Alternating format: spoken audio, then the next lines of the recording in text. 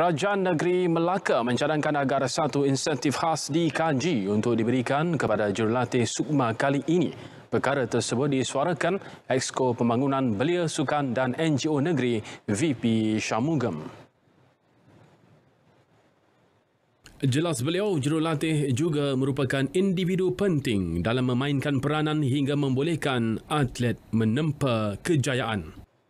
Melaka, saya telah pun berbincang dengan amat berhormat Ketua Menteri dan seperti tadi saya maklumkan yang kita akan buat satu paper khas mengkaji uh, satu insentif uh, untuk untuk melahirkan untuk melahirkan atlet yang memenangi pingat emas perak dan gangsa.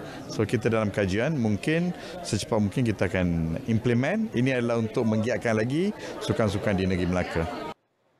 Pada majlis berkenaan, sebanyak RM225,300 diperuntukkan kerajaan negeri kepada atlet yang memenangi pingat emas, perak dan gangsa pada kejohanan dunia Sukan Commonwealth dan Sukma MSN 2022.